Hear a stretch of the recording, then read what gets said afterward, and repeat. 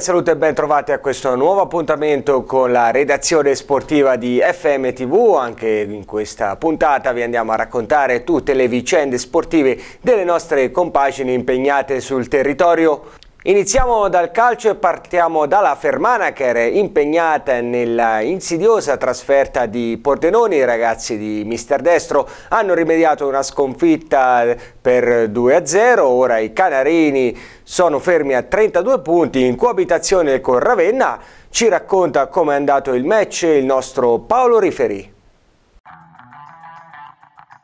Dopo la rimonta record di domenica scorsa contro la Reggiana, Cannerini impegnati per la prima delle due trasferte consecutive da dover affrontare nel giro di quattro giorni. Al bottecchio di Pordenone destro sceglie il 4-3 con il rientro in difesa di Gennari a far coppia con Comotto e la novità Favo, con l'ex Fano dal primo minuto. Davanti l'unica punta Lupoli, supportata da Petrucci e da Silva.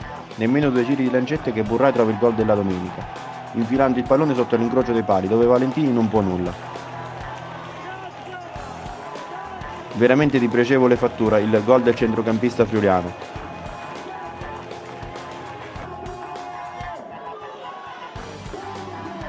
Il gol a freddo però anima i canarini, un minuto più tardi Orbinati a provarci, ma il suo equilibrio è precario e la sfera termina sul fondo.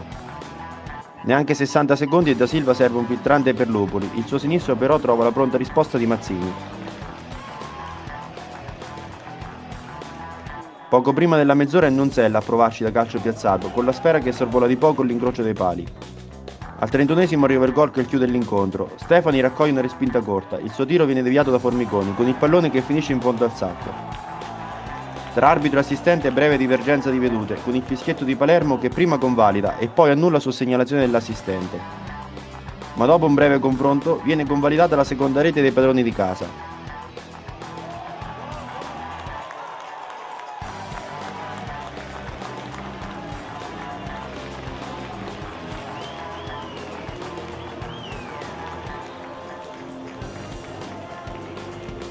Nell'occasione giusta, l'iniziale decisione del direttore di gara. Al momento del tiro di Stefani, il terzino Formiconi viene tenuto in gioco da Capece e Sperotto, che ritardano l'uscita.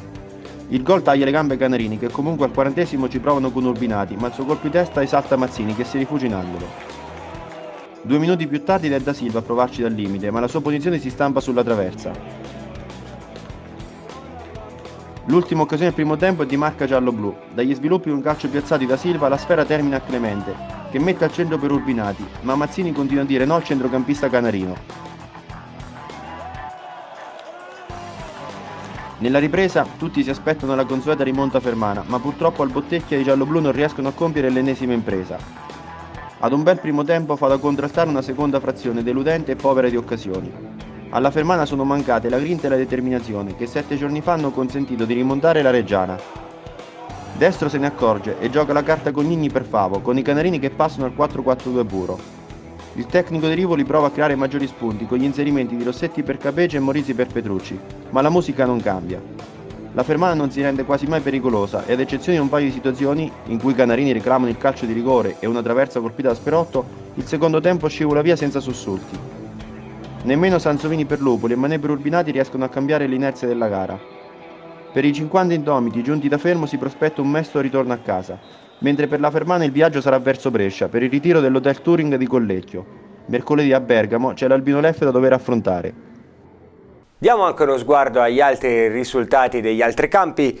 Fano San Benedettese 1-1, Pordenone Fermana 2-0, Ravenna Mestre 2-1, Reggiana Gubbio 3-2, Termo Albino Leffe 0-0, Renate Bassano 1-2, Sant'Arcangelo Trestina 2-2 e il Sud Tirol vince per 1-0 a Vicenza.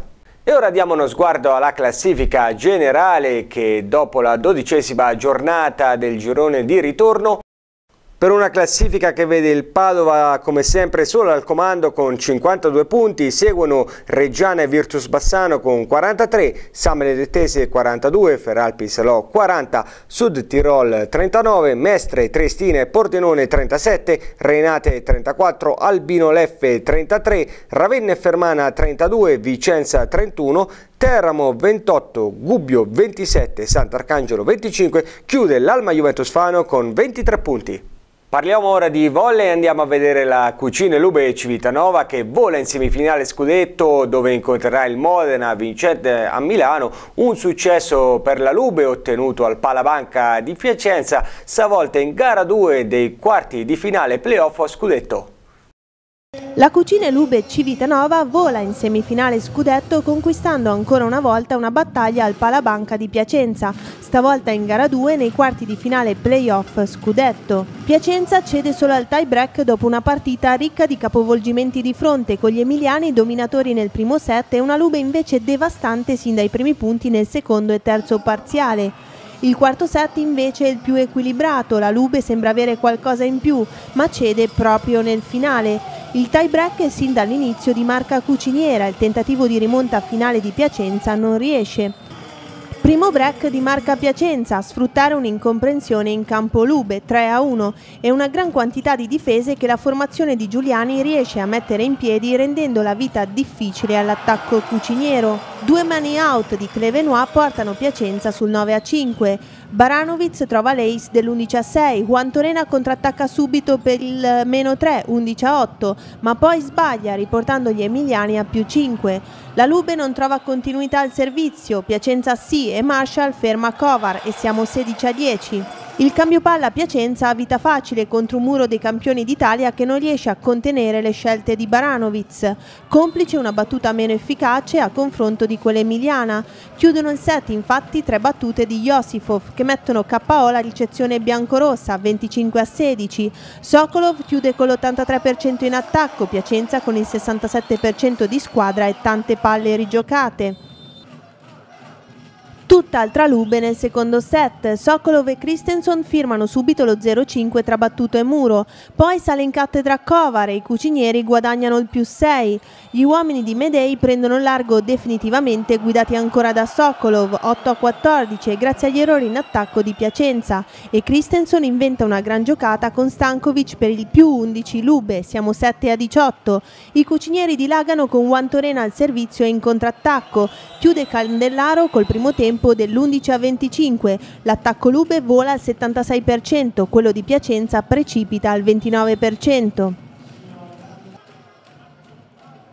Lube che riparte fortissimo anche nel terzo set, il muro di Stankovic fa male ed è 1 a 5.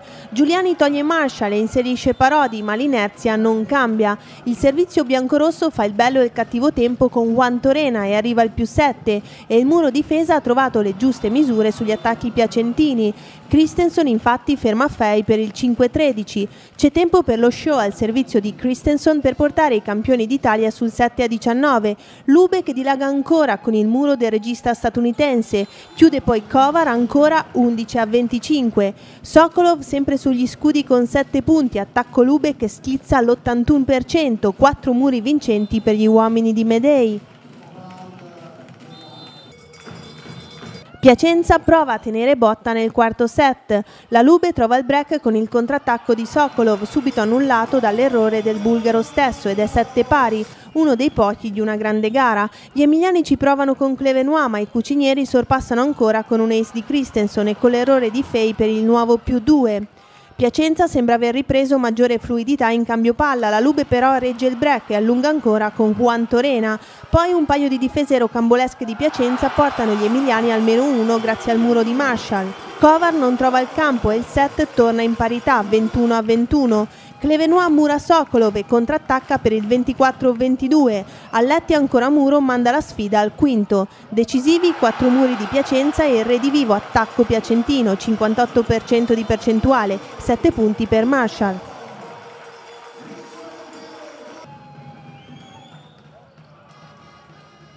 Subito break Lube nel tie break 1-4 firmato dal contrattacco Juan Torene dall'errore di Fei. Kovar mura Clevenois ed è più 4. Marshall ora è l'uomo di Piacenza, il suo servizio propizia il meno 2, ma i biancorossi cambiano campo a più 3. Sokolov prende per mano la squadra al servizio e con due ace lancia la Lube al 5-11, ma non è finita perché Piacenza con la difesa e Clevenois rientra fino al meno 2, 10-12. La Lube ha i nervi saldi e conquista la vittoria tenendo il break, nonostante il tentativo in extremis degli emiliani con il servizio di Josifov. Proprio il bulgaro infatti sbaglia il servizio che regala al 13-15 la qualificazione alla semifinale alla Cucine Lube Civitanova. La Lube conquista dunque in soli due match la semifinale scudetto dove affronterà Modena vincente contro Milano. Giampaolo Medei, un, dopo un primo set eh, in cui Piacenza ha sparato tutto, la Lube ha cambiato marcia e è arrivata fino al tie break. Sì, è stata una partita molto dura per noi, ce l'aspettavamo, ma credo che in generale questi playoff sono iniziati nel segno dell'equilibrio di partite tirate, combattute per tutti, credo che sia difficile per tutti. Noi forse il primo set abbiamo pagato un po' la settimana, no? il viaggio in Polonia, la partita in Polonia, perché ci abbiamo messo eh, un po' a entrare, a entrare nella vera partita.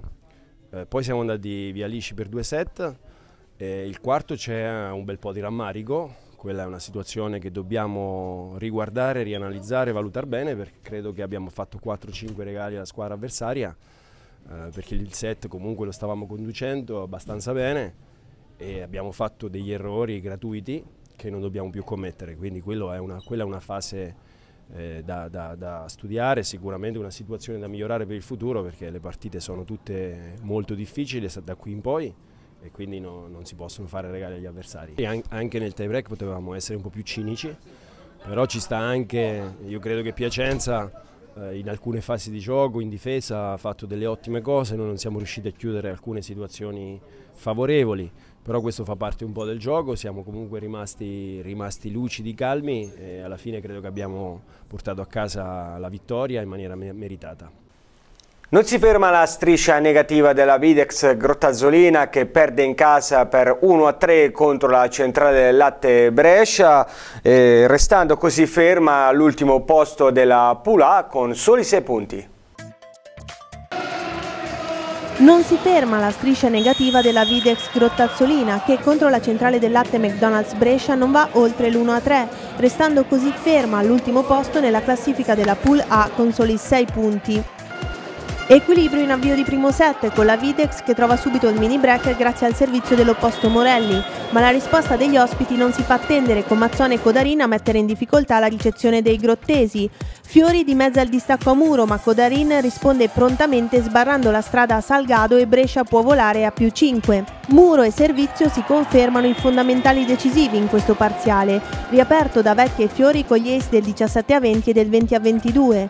Bellei trova il punto del set point sul 20 a 24, la Videx li annulla tutti e quattro e porta il set ai vantaggi, dove a prevalere comunque Brescia grazie al muro di Esposito su Morelli per il 27 a 29 ospite. Al rientro in campo Brescia riparte con lo stesso piglio e si porta avanti 5 a 9 esattamente come nel parziale precedente. I Lombardi allungano 7 a 14 complici due attacchi out di Morelli e Ortenzi è costretto a spendere il suo secondo time out.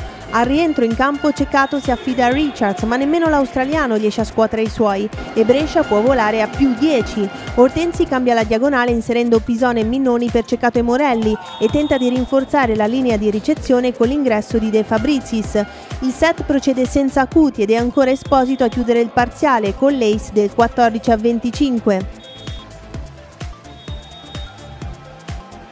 Maggiore equilibrio nel terzo parziale con Brescia che realizza di nuovo il mini break e si porta avanti, ma stavolta la Videx ritrova la parità a quota 7 e sorpassa con il servizio vincente di Morelli. Il pallonetto di Vecchi da posto 4 spinge i grottesi avanti di 2, 12 a 10. Bellei impatta muro e si procede a colpi di mini break fino al 18-15 Videx, propiziato dal turno al servizio di Capitan Fiori. Mazzon da seconda linea trova il money out dell'ennesima parità, mentre il sorpasso arriva con il protagonista di giornata Kodarin, che piazza al muro del 22 a 23. Mazzon si rende ancora protagonista, firmando la palla del match point, neutralizzata da Morelli al termine di un'azione lunghissima. Poi i bresciani fanno tutto da soli e con un'invasione e un attacco out consegnano il set nelle mani della Videx. 27 a 25 partita riaperta.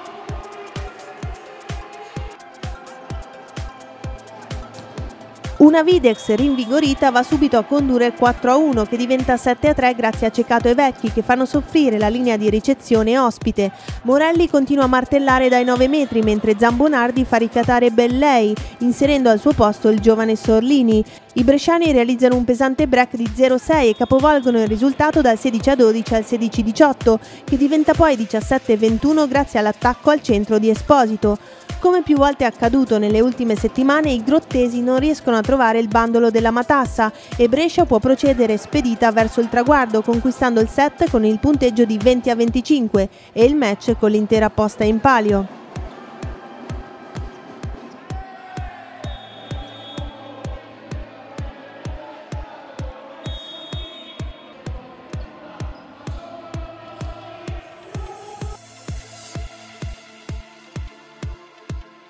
Sorride invece la Golden Plast Potenza Picena che vince per 3-7-0 contro Cantù.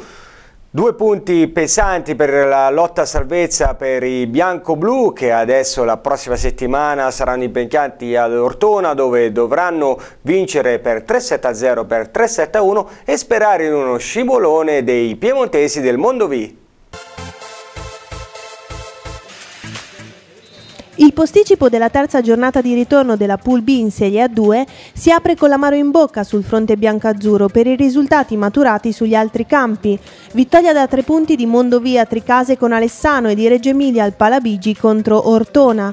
La reazione della Golden Plast Potenza Picena si concretizza con il 3-0 inflitto alla Pool Libertas Cantù tra le mura amiche dell'Eurosuole Forum con un finale in crescendo.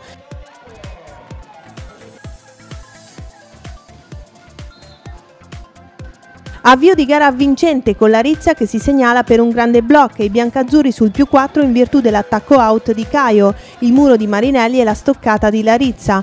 I canturini trovano il pari con 4 punti di fila dopo un attacco errato dei padroni di casa e vanno avanti con l'ace di Baratti e allungano su un'infrazione dei biancazzurri ed è 17 a 19. Potenza Picena non si scompone e impatta. L'attacco di Caio non trova il campo e i potentini centrano il sorpasso 22 a 21. Si arriva alla volata 23 pari due timbri di Larizza portano il primo set ai potentini 25 a 23.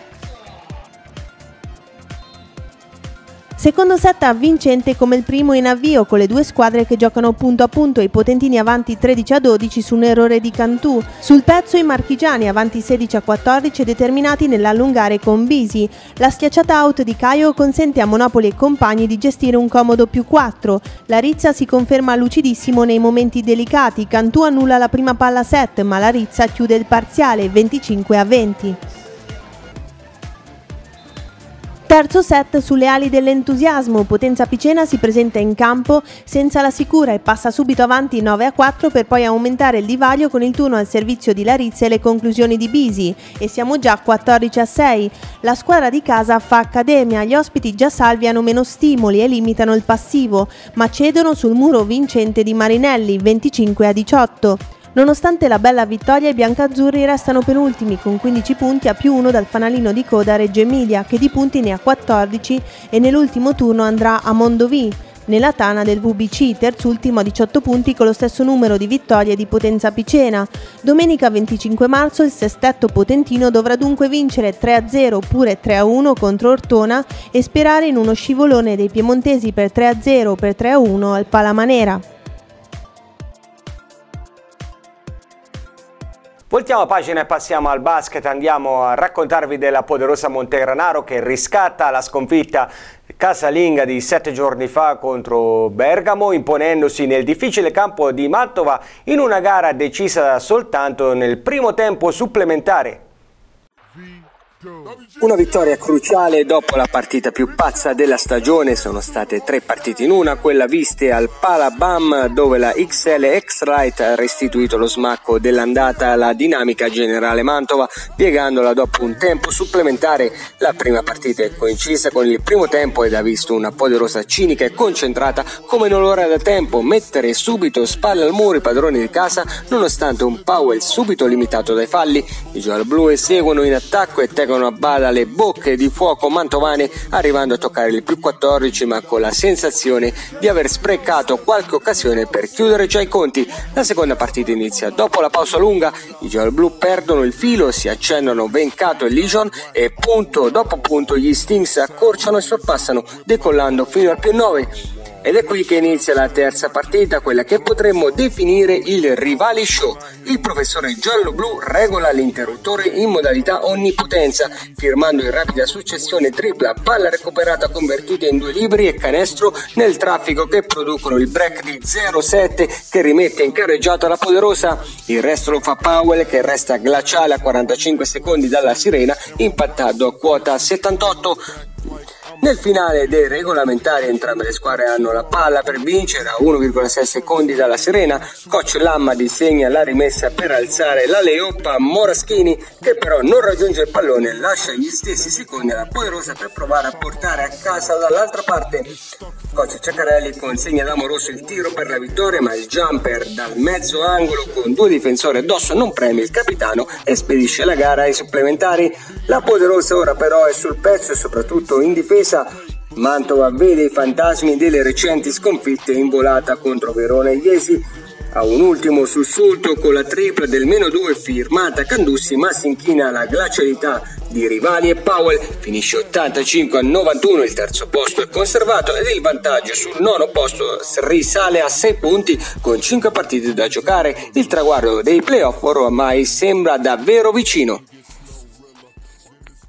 Continua la striscia positiva della Sutor Basket Montegranaro che si impone sull'insidioso campo di Matelica dopo una gara giocata punto a punto decisa soltanto nel quarto quarto. Una vittoria importante per i ragazzi di Coach Ciarpella che adesso aspirano ad una posizione privilegiata sulla griglia playoff.